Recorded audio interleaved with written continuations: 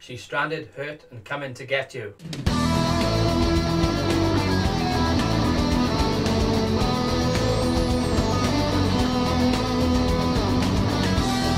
Tomb Raider the Definitive Edition. So Tomb Raider was a game released in 2013 by Square Enix and it was on the PC, PlayStation 3 and Xbox 360 and now we have it on the next gen. I played the PlayStation 4 version and firstly I have to commend the graphics, they look absolutely insane. If you're somebody that loves graphics then the eye candy in this game is going to be right up your alley. Another positive is this game comes with all the DLC. The version I bought came with a special booklet with artwork from the developers which is quite kind of cool as well.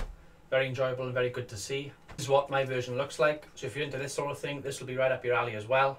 Additionally, it comes with a digital comic book called Tomb Raider The Beginning, new comic book series on the Tomb Raider franchise, and it acts as a prequel to the video game. Basically, it gives you an insight into the backstories of the different characters on the game. Some of them are secondary characters, some of them are primary characters like Lara herself. While we're on the story of characters, even though the story is really, really strong, I do think some of the secondary characters do fall a little bit short in the grand scheme of things.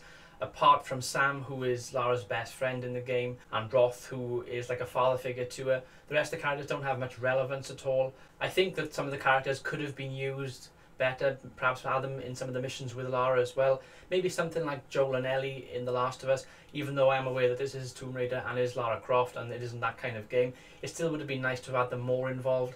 Most of the time you had the characters on the island and they were just moaning, looking at Lara saying do this, do that, and I just felt like, ugh, you know, it could have been utilised a little bit better. Speaking of Lara, she is totally badass. She goes from this scared little girl to being, die you bastards! I loved her transition from being that scared girl to being a total badass. I just think that it went a little bit too quickly.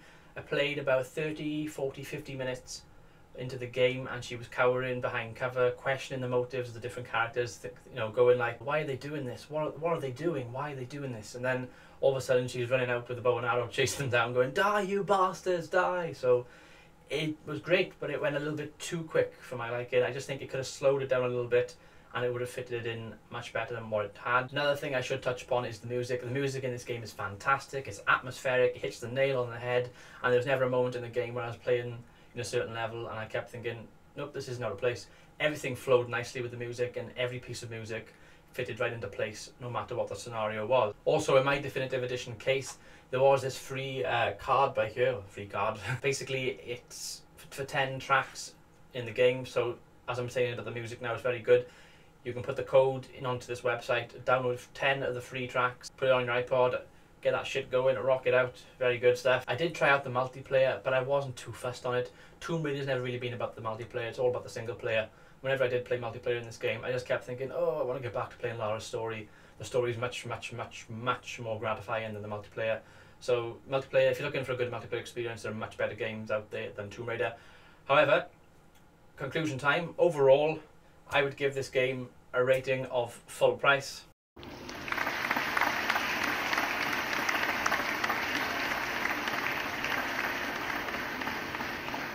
What you get included and for the upgraded graphics, this definitely is the definitive edition for Tomb Raider. However, I would stress that you wait for it to come down in price.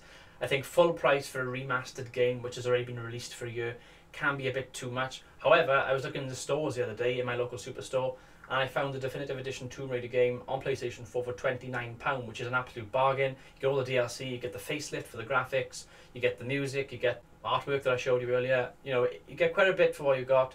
The only thing I would say with the DLC, I think it adds one, maybe two new tombs, which isn't an, awful lot. The game doesn't have many to begin with. It's a little bit like Grand Theft Auto, where everyone loves the heist missions. There's only like six or seven in the game. I think it's the same with Tomb Raider. It's only one. It's only probably four, five, six tombs altogether. Anyways, I've been Dragonheart reviewing Tomb Raider, the definitive edition. I hope you've enjoyed. Until next time, goodbye. Thank you for watching, guys. I hope you've enjoyed this review of Tomb Raider. If you're interested in watching more reviews on my channel, links are below to my review channel where I'll be doing lots and lots of reviews, previews, gamer talk, movies, television series, everything you can think of will be all on that channel in the coming weeks. So get onto the button down below, click the subscribe button and check it out. Thank you for watching and goodbye.